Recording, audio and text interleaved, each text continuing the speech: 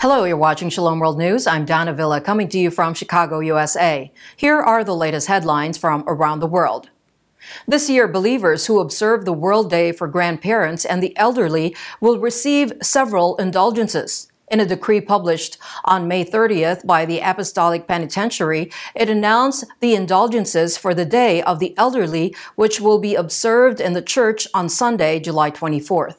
The elderly and the faithful who take part in the solemn celebrations presided over by the Pope in the Vatican or similar celebrations around the world can avail of the plenary indulgence.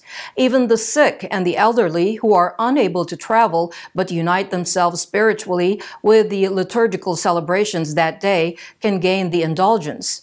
To be eligible for the indulgences, believers must go to confession, partake in the Eucharist, and pray for the intentions of the Holy Father. Pope Francis established this particular day for the elderly last year, and it is observed on the Sunday close to the feast of Saints Joachim and Anne, the grandparents of Jesus. The culture of death has gripped Belgium, where almost 27,000 people have been euthanized ever since assisted dying was legalized 20 years ago. May 28th marked the 20th anniversary of the legalization of euthanasia in the European Union country that has a population of 11 million. Pro-life supporters allege that euthanasia is administered to people who undergo any type of suffering or psychiatric ailments, including autism and depression. There are also scores of cases where euthanasia was administered to those who did not ask for it. In 2002, when euthanasia was legalized, there were 24 cases. The following year, it went up to almost tenfold. In 2020, as many as 2,444 people were euthanized. The number rose to 2,699 in 2021. It is also alleged that in 16% of cases, assisted dying is given to patients who are not expected to die soon.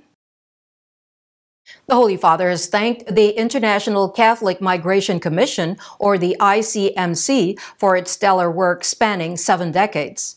In his message to members of the Commission on the occasion of their plenary council, Pope Francis made a special mention to their help to Ukrainian refugees. The Pope said the Commission has helped churches respond to the challenges posed by displaced people. Founded in 1951 by Pope Pius XII, members of the Commission convened to choose a new governing committee, approve new statutes, and determine its operational guidelines. Pope Francis said that ICMC has had an ad intra and an ad extra ecclesial mission. At the ad intra level, the Commission offers assistance to bishops' conferences and dioceses while facing the issue of migrants. At the ad extra level, the ICMC responds to global challenges and migratory emergencies in solidarity with the local church. Members of the Spanish soccer team Real Madrid offer their Spanish League and Champions League trophies to Our Lady of Almudena, the patroness of Spain's capital, on Sunday, May 29th. Upon returning from Paris after winning the Champions League for the 14th time, the players, coach, directors, and the club members went to the Almudena Cathedral where they raised their trophies before the altar of Our Lady. They were received by the Archbishop of Madrid, Cardinal Carlos Osoro, welcoming the players with affection, the prelate stated, quote, it is stimulating to share a path with others to support each other in the search for success, end quote. The president of Real Madrid, Florentino Perez, conveyed his gratitude to the prelate for welcoming them. Following the address, Emilio Butragueño, director of the Institutional Relations for Real Madrid, prayed for all athletes and for everyone present to obtain, quote, the maternal protection of the Virgin Mary, end quote. The club has a tradition of offering its trophies to Our Lady of Almudena. In the U.S. Archdiocese of Detroit, there will be a grand Eucharistic procession on the Feast of Corpus Christi on June 19. This is being held to herald the launch of the National Eucharistic Revival, a three-year initiative in the American Church to foster greater devotion to the Blessed Sacrament. The procession will begin with the exposition of the Blessed Sacrament at the Cathedral of the Most Blessed Sacrament in Detroit and will be processed around the city and conclude at the Sacred Heart Major Seminary, where there will be a benediction. The National Eucharistic Revival, started by the bishops of the United States, is a three-year grassroots movement. The diocesan year of Eucharistic Revival will begin on June 19 and concludes on June 11, 2023.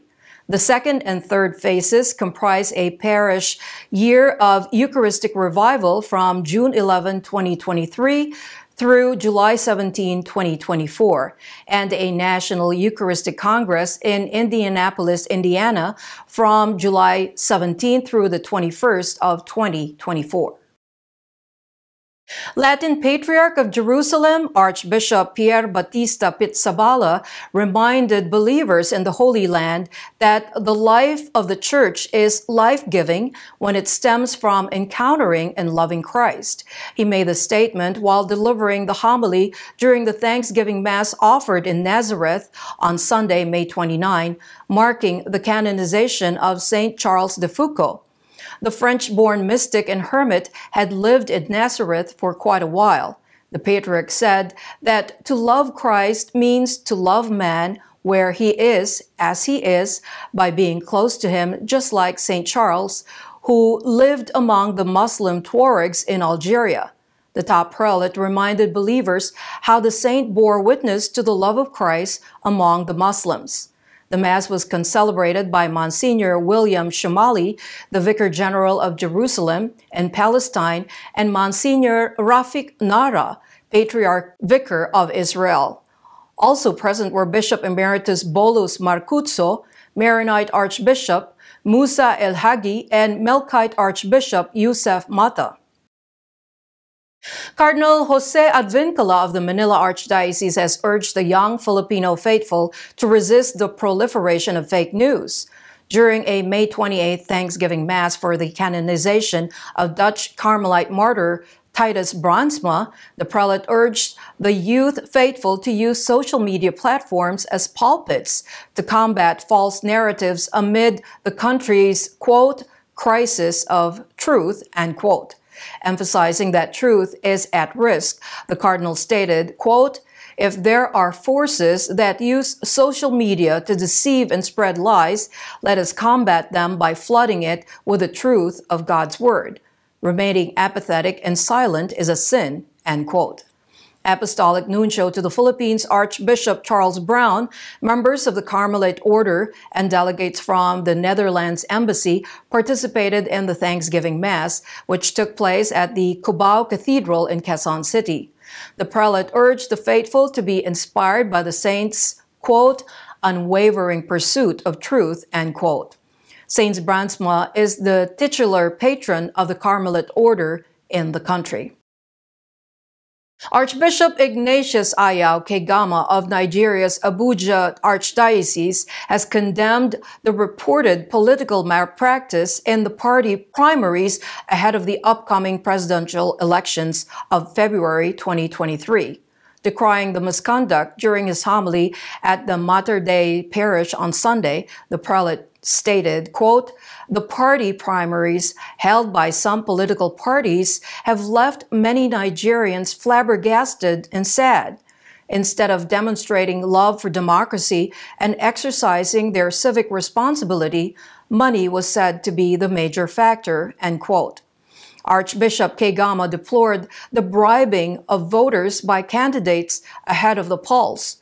The Archbishop lamented that the leaders who are honest, God-fearing, and able to manage Nigeria with prudence are being ignored for those who have paid for their way up.